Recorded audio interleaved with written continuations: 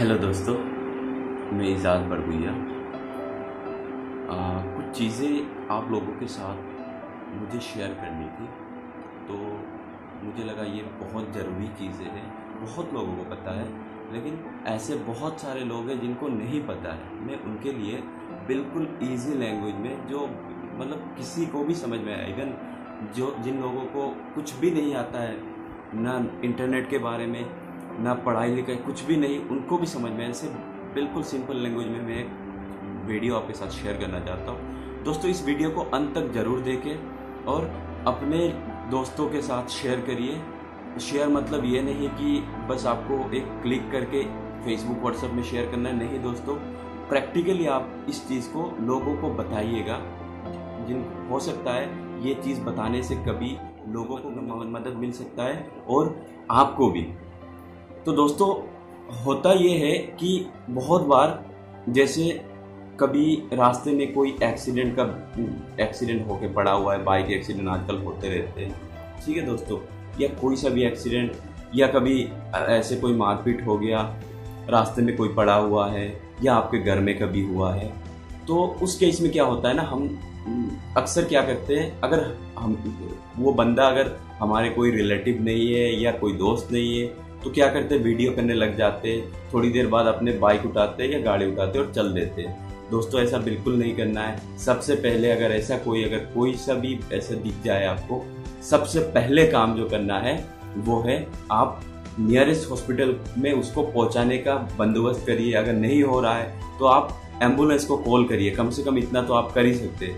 तो दोस्तों, मैं जो बताने जा रहा हूँ, मैं उस पीरियड के लिए बताने जा रहा हूँ, जैसे हॉस्पिटल बंदे को आप नहीं पहुँचा पा रहे टाइमली या बंदा ऐसे कंडीशन में जैसे सांस नहीं ले रहा है या बिल्कुल एकदम मतलब इतना ब्लीडिंग हो रहा है इतना फ्रैक्चर हो गया कि आप उस, उसको वो मतलब आपके सामने ही वो मर सकता है बंदा। उस केस में आप मैं जो चीज़ बता रहा हूँ ये चीज़ें बहुत ही काम आएगा और वो चीज़ आप किसी का जान बचा सकते हैं अगर वो करने से। ठीक है दोस्तों? तो सबसे, मैं चार चीज़ें बताऊँगा दोस्तों। सबसे पहला जो है वो सीपीआर ठीक है दोस्तों? सीपीआर क्या होता है? मैं डिटेल्स में नहीं जाऊँगा, मैं आपको डेमो बताऊँगा। हमें ट्रेनिंग के दौरान जो सिखाया गया है, मैं बस आपको उस चीज़ का समरी बताऊँगा। बिल्कुल मतलब आपको ताकि समझ में आ जाए। मैं कोई भी ऐसे भाषा का प्रयोग नहीं करूँगा कि आपको समझ में ना आए। ठीक है दोस्तों? तो सबसे पहला है सीपीआर के बारे में बताऊँगा। सेकंड चीज़ है ब्लीडिंग की बहुत ज़्यादा खून निकल रहा है किसी का। कोई सा भी घर में हो बाहर हो ठीक है दोस्तों? तो ब्लीडिंग फ्रैक्चर के बारे में बताऊँगा। टूट जाता है कभी हड्डी टूट रहा है पैर टूट रहा है एक्सीडेंट में ये होता रहता है ठीक है दोस्तों? और चौथा चीज़ जो है स्नेक बाइट जिस जो सांप अगर काट ले तो क्या करना है? मिनिमम हमें पता ही नहीं हो, हो पाता ये सब। ये अगर पता भी है तो हम अप्लाई करने से डरते हैं। हमें लगता है कि नहीं डॉक्टर ही सब जानता है। ये डॉक्टर सब कुछ जानते हैं। हमें हमें भी ऐसे ऐसे चीज़ें हैं जो अगर हम उस टाइमली अगर उस चीज़ को यूटिलाइज कर लेंगे दोस्तों तो किसी इवन किसी का अगर सांस भी रुक जाए मतलब किसी मरे हुए बंदे को भी आप ज़िंदा कर सकते हैं। इतना पावरफुल है। बाकी तो ऊपर वाले के हाथ में है, लेकिन आपके हाथ में भी कुछ चीज़ें ऊपर वालों ने दे रखे हैं, आप उसको यूटिलाइज करिए दोस्तों। तो दोस्तों, आइए हम जानते हैं सीपीआर के बारे में मैं आपको डेमो देना चाह रहा हूँ। तो सीपीआर देने से पहले दोस्तों, जिन चीज़ों की ध्यान रखनी चाहिए हमें, पहली बात है, वो उस बंदे का सांस नहीं चलना चाहिए। वो ऐसा होना चाहिए कि आपको लग रहा है कि वो बंदा मर गया है। आपको एक मरे हुए बंदे को, बंदे के अंदर जान निकालना इसीलिए उसके साथ ऐसे ट्रीट करिए कि वो उसको मतलब कुछ दिक्कत हो रहा है कि नहीं, बिल्कुल नहीं देखना है आपको। तो पहले कंफर्म कैसे करेंगे? कंफर्म करने के लिए पहले बंदे को जो है, ऐसे ज़मीन में होगा तो सबसे बेहतर है, ज़मीन में ऐसे लटा के रखिए।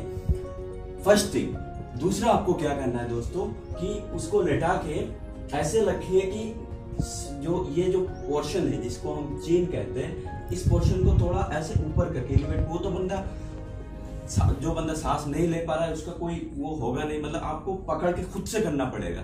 ठीक है दोस्तों?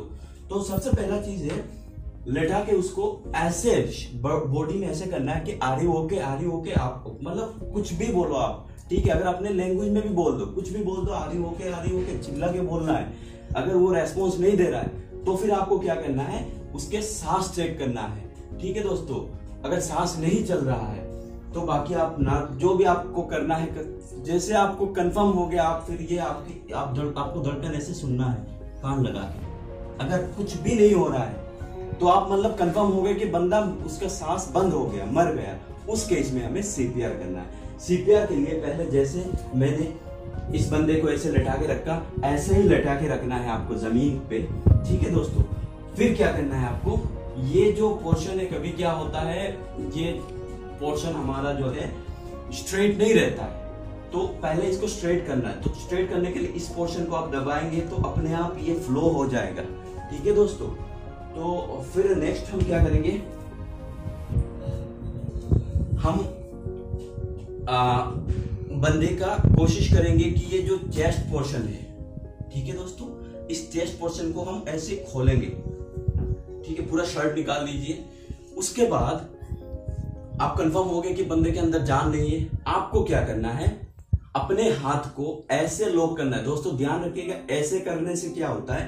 पूरा प्रेशर जो है बॉडी का, वो हाथ पे आ जाएगा और ज़्यादा ताकत आप दे सकते हैं। ऐसे हाथ करके, देखिए कैसे मैंने किया। इस हाथ को, इस उंगलियों के बीच में ऐसे फंसाना है। फिर इस हाथ से आपको इस जगह पे, जहाँ हमारा चेस्ट खत्म हो रहा है, उस जगह पे ऐसे प्रेस करना है कि वो कम से कम एक प्रेस में पाँच से छह सेंटीमीटर तक अंदर चला जाए। इतना दोस्तों, इसमें ताकत होनी चाहिए। ठीक है दोस्तों?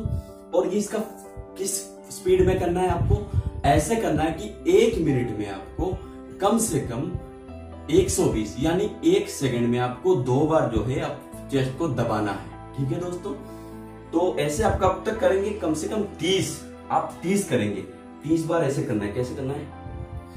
ऐसे और घुटने को अगर ऐसे स्ट्रेट करके इस पोजीशन में करेंगे तो और अच्छा है। ठीक है दोस्तों? हमें बस ये करना कि ज़्यादा प्रेशर हम देंगे। ज़्यादा प्रेशर देने के लिए एक ये पोजीशन हो गया और घुटने पे आना है और इस पोजीशन पे। और ध्यान रखिए, ये जो है फ्लो ऐसे होना चाहिए। ठीक है दोस्तों? तो ऐसे दबा दबा के कम से कम आपको तीस बार करना है। ठीक है? फिर तीस बार करने के बाद आपको दो रेस्क्यू ब्रीथ देना है। रेस्क्यू ब्रीथ में क्या करेंगे आप? उस बंदे का मुँह ऐसे खोलेंगे। खोलने के बाद नॉर्मली क्या होता है, इस सिचुएशन में कभी कभी होता है बंदे का दांत नहीं खुल रहा है। तो आपको कैसे भी करके कुछ घुसा के उसको खोलना है। फिर ये फ्लो बना के आपके मुँह में जैसे कोई सा भी चीज़ के अंदर आप अगर हवा भरते जैसे करते उस हिसाब से रेस्क्यू ब्रीथ इसे करते दो रेस्क्यू ब्रीथ देना है आपको। बिल्कुल ऐसे, जैसे किसी चीज़ को आप फुला रहे दो बार करना है। तो दोस्तों, मैंने क्या बताया, पहले तीस बार ये करना है, पंद्रह सेकंड में ये चीज़ कंप्लीट करना है आपको। ठीक है? फिर ये करना है। ये सेम चीज़ फिर रिपीट होता रहेगा। जब तक बंदा खुद से मतलब उठ ना जाए, तब तक आप करते रहिए। और ये प्रेस करते टाइम अगर उसका ये जो रीड ये जो हड्डी है, अगर हड्डी टूट भी जाए तो कोई परवाह नहीं। हड्डी फिर से जोड़ सकती है, लेकिन जान आप ऐसे जान दोबारा नहीं मिल सकता है। तो अगर हड्डी टूट भी जाए, कोई फ़र्क नहीं पड़ता है। ठीक है दोस्तों? हड्डी ज्वाइंट हो जाएगा। मेन उस बंदे को रिवाइव करना है। ठीक है दोस्तों? तो सबसे ज़रूरी बात है ये जो चीज़ है ये आ, कब करना है कि जब बंदा बंदा मतलब पूरा दम उसका वो हो गया बंद हो गया ठीक है? तो आ, ये करने के बाद इस साइकिल को कंटिन्यू करना है। अगर आप थक जा रहे हैं पास में कोई सा भी है उसको बुला के लाइए उससे भी करवाइए लोगों को समझाइए कि हाँ ऐसे करना है। और जब तक डॉक्टर ना पहुँचे तब तक आपको ये चीज़ कंटिन्यू करना है। स्पेशली दोस्तों अगर आधे घंटे तक उसका अगर होश आ गया अच्छी बात है, अगर नहीं आ रहा है तो आधे घंटे करके आप छोड़ सकते हैं, उसके बाद कोई उम्मीद रहता नहीं सीपीआर आप लोगों ने जान ही लिया। मुझे ऐसा लग रहा है कि आप सबको समझ में आया होगा, क्योंकि बहुत ही आसान तरीके से मैंने बताया आपको। ठीक है दोस्तों, अभी जो हम डिस्कस करने जा रहे हैं, जो सेकंड चीज़ है, वो है ब्लीडिंग दोस्तों, क्या होता है? कभी वही सेम चीज़ एक्सीडेंट या घर में कभी मोहल्ले में मारपीट हो गया, किसी का इतना ज़्यादा खून निकल रहा है कि हॉस्पिटल में जाते जाते वो बंदा रास्ते में ही अपना जान खो बैठे देकर ठीक है दोस्तों? तो उस केस में हमें क्या करना है? हमें सबसे पहले उस बंदे का जो पार्ट से ब्लीडिंग हो रहा है, उस चीज़ को किसी भी साफ़ कपड़े से, दोस्तों, ध्यान रखिएगा, कपड़ा साफ़ होना चाहिए। अगर नहीं मिल रहा है आपको, फ़र्स्ट प्रायोरिटी आपको साफ़ कपड़ा होना चाहिए। ठीक है, दोस्तों? उस जगह को जैसे मेरे यहाँ से खून निकल रहा है तो मैं क्या करूँगा? मतलब आप क्या करेंगे कि उस जगह से उस जगह को कोई भी साफ़ कपड़े से दबा के रखिए। ऐसे दबा के रखिए कि खून ना निकले, प्रेशर के साथ। ठीक है, दोस्तों? तो उस, फिर उसको आप अगर चाहे तो बाँध सकते हैं। ऐसा बांधिए कि वो खून ना निकले। कम से कम हॉस्पिटल तक वो पहुँच सके। ये आपका आप इतना कर सकते हैं। हॉस्पिटल वाले बाकी जाने को उनको क्या करना। ठीक है दोस्तों? और तीसरा चीज़ जो है थर्ड थिंग इज़ फ्रैक्चर के बारे में। फ्रैक्चर के बारे में क्या होता है? फ्रैक्चर नॉर्मली कब होता है? नॉर्मली तो फ्रैक्चर होता नहीं है पहली बात। ऐसा तो नहीं है कि डायबिटीज़ है फीवर ऐसे टाइप को तो है नहीं। फ्रैक्चर वो भी क्या है एक्सीडेंटली होता है लोगों का। कोई फिसल गया घर पे या कोई मारपीट हो गया या एक्सीडेंट हो गया रा, रास्ते में या कोई कहीं से गिर गए आप ठीक है? तो उसमें क्या करना है आपको दोस्तों? आ, सबसे ज़रूरी जो चीज़ है वो जो पहले तो बंदे को आप एकदम बिल्कुल रेस्ट पोजीशन जिसे कहते हैं बिल्कुल आराम से लिटा दीजिए। ये सबसे पहले काम करिए आप ठीक है? फिर वो जो पार्ट है जिस पार्ट पे फ्रैक्चर हुआ है पैर भी हो सकता है दोस्तों, हाथ भी हो सकता है, कहीं भी हो सकता है। उस पार्ट को क्या करेंगे? कोई भी ऐसे चीज़ें, लकड़ी टाइप का कोई भी चीज़ें, से आप लकड़ी हो, कोई भी डंडा हो, उससे उस जगह को बाँध के उसको ऐसे करिए कि उसमें प्रेशर ना आए बिल्कुल, ठीक है? उसको बाँध दीजिए। हल्के से, हल्के हाथों से बांधना है। टाइट नहीं करना है दोस्तों। तो फिर क्या करना है हमें? उस बंदे को आप लेटा के उस जगह को जिस जगह जैसे पैर में हुआ है तो उसको थोड़ा एलिवेट करिए। मतलब थोड़ा हल्का उठा के रखिए उस पार्ट को। मेरे जैसे हाथ में अगर हुआ है तो हाथ को थोड़ा नीचे कुछ दे के कोई भी तकिया या कोई भी अगर घर पे नहीं है अगर रास्ते में है तो कोई भी ऐसे चीज़ आप उस नीचे रखें ताकि वो थोड़ा ऊपर रहे। फिर क्या करेंगे दोस्तों अगर आइस अवेलेबल है आसपास में कोई भी आ, कोई आइसक्रीम वाला या किसी के पास या मछली वालों के पास रहता है तुरंत ले आइए और उस जगह को आइस से रगड़िए। ठीक है दोस्तों? या लगा के रखिए। 10-15 मिनट कम से कम आप ये कर सकते हैं। दोस्तों ऐसे करने से वो बंदा वो जो फ़र्स्ट एड जिसे कहते हैं वो आप दे रहे हैं। वो बहुत ही ज़रूरी चीज़ है दोस्तों। तो आ, फिर क्या है? फिर आता है स्नेक बाइट अगर सांप काटता है तो उस केस में हम क्या करेंगे दोस्तों? अगर सांप काटता है किसी को या आपको भी काटता है जो सबसे ज़रूरी चीज़ है तो वो डरना नहीं घबराना बिल्कुल नहीं है दोस्तों। सांप अगर काट भी ले तो ऐसा नहीं होता है कि हर, सारे स्नेक पॉइजनस होता है और हम मर जाएँगे। दोस्तों, बहुत एट्टी परसेंट केस ऐसे होते हैं जहाँ बंदा जो है, अगर डेथ हो रहा है उसका तो वो डर के मारे हो जाता है दोस्तों कि मेरे को ऐसे तो हार्ट अटैक आ जाता है बंदे को, ठीक है? तो पहले तो डरना नहीं है बिल्कुल। अगर किसी दूसरे को आपने काटते हुए देख लिया तो उसको ऐसे बोले, नहीं यार बंदा, वो तो बिल्कुल उसमें तो जहर होता ही नहीं है सांप में। वो तो ऐसे ही दूढ़ा सांप या ऐसे कोई सा भी सांप का नाम ले लीजिए कि उसमें जहर उसको मैंने खुद देखा। अगर आप ऐसे बोलेंगे उसको बोलेंगे नहीं मैंने खुद देखा तो वो बंदा उसका कॉन्फिडेंस लेवल अप हो जाएगा। उस केस में क्या होगा अगर वो स्नेक नॉन पॉइजनस नहीं है तो कम से कम वो हार्ट अटैक से तो बच जाएगा। इतना तो आप कर ही सकते दोस्तों। फिर क्या करेंगे आप उस जगह को पर्टिकुलर जहाँ नॉर्मली पैर साइड में ही होता है जूते उते निकाल दीजिए जो भी है उस जगह को आप जो आपको जो है आ, कोई भी साफ़ कपड़े से उसमें साबुन लगा के पानी से, साबुन से सॉरी कपड़ा नहीं, साबुन से जो है उसको साफ़ करना है। और पानी जो है बहाना नहीं है दोस्तों। पानी को हल्के हाथों से मतलब लगा के बस साफ़ करना है। ऐसे अगर आप डालते रहेंगे तो वो फिर दूसरा कहीं सोच मैं आपको वो फिर डिटेल में बाद में बताऊँगा। स्नेक वाइट के बारे में और भी चीज़ें मेरे को बताना थी। लेकिन एक आपको पता है, लोग बोर हो जाते हैं, ज़्यादा लंबे वीडियो देखने से।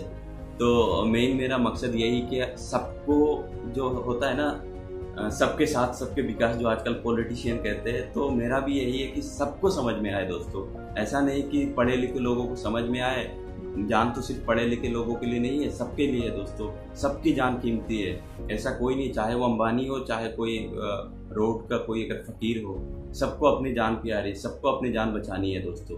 तो जान सबके लिए बराबर है, इसीलिए सबको समझना बहुत ही ज़रूरी है दोस्तों। इस वीडियो को आप जितना हो सके शेयर करिए और अपने दोस्तों को, अपने फैमिली को भी बताइए इसके बारे में। क्या पता कल आप ही ऐसे रास्ते में पड़े रहेंगे, आपके लोग वीडियो बनाते रहेंगे और रास्ते में आप ऐसा ऐसा केसेस हुआ है, दोस्तों, अभी फ़िलहाल ये वीडियो में इसलिए बनाया, मुझे इसलिए लगा कि ये बहुत ज़रूरी है लोग, क्योंकि मैंने फेसबुक में देखा था, इधर ही मिजोरम में बायरंटी में, एक बंदा बाइक से ऐसे एक्सीडेंट विक्टिम था, पड़ा हुआ था रोड पे और लोग उसका एकदम लाइन से जो है वीडियो और फ़ोटो खींच रहे थे। वो बंदा वैसे ही मतलब लेटा हुआ था। कोई मतलब इनिशिएटिव नहीं ले रहा था। तो उस केस में कम से कम दोस्तों, उस पंद्रह बीस लोग जो वीडियो मतलब ले रहे थे, उसमें से अगर एक भी बंदा आके सामने उस टाइम में कर देता, हो सकता है उसका जान बचता। हो सकता है उसके आज फैमिली वाले उसके दोस्तों रोकते नहीं। ठीक है दोस्तों? तो ये सब चीज़ें बहुत ज़रूरी है। और बिल्कुल आसान सी भाषा में समझाया। और मैं लास्ट आपको बता रहा हूँ एंबुलेंस को या डॉक्टर को वो फ़र्स्ट प्रेफरेंस आपको उसको करना ही है। उसके बाद ये सब चीज़ें आपको करना है। ठीक है दोस्तों? और सीपीआर का स्पेशली ध्यान रखिएगा। अगर बंदे के अंदर दम है, अगर उसका सांस अभी भी टिका हुआ है तो उसको नहीं करना है। ये चीज़ ध्यान रखिएगा और सबको बताइएगा। ये सीपीआर बहुत ही ज़रूरी है। बाकी चीज़ उतना नहीं है जितना सीपीआर है। स्पेशली उन लोगों के लिए जो रास्ते में या घर पे कभी भी ऐसे ही कोलाप्स हो जाते हैं और हम क्या होता है रोते रहते हैं। हम, और कोई, जैसे हमारा कोई मम्मी पापा हो सकता है, भाई बहन, दोस्त, या हम खुद हो सकते हैं, हमारे साथ वाले रोज रोएँगे उनके हाथ में कुछ नहीं। तो वो क्या है ना, कम से कम एक लास्ट हो, कुछ भी तो कर सकते हैं। इतना है कि वो बंदा तो ऊपर वालों के पास है, अगर जान उसका बख्शना है कि नहीं है। लेकिन ये है कि कम से कम आपको ये रिग्रेट तो फील कभी नहीं होगा कि मेरे सामने बंदा मर गया और मैं कुछ कर नहीं पाया। इतना तो आप कर सकते हैं। तो दोस्तों, हमारे चैनल को सब्सक्राइब करिएगा और हमें जो है और वीडियो और और सारे चीज़ें आप लोगों के साथ शेयर करने का मौका दें थैंक यू थैंक फॉर